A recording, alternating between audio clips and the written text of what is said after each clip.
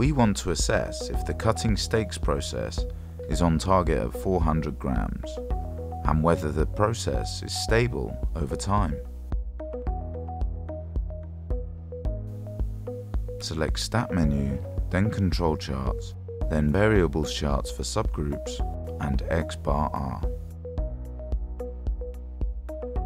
In the dialog box select Weight, under All Observations for a chart in one column, and Date in the subgroup Size field.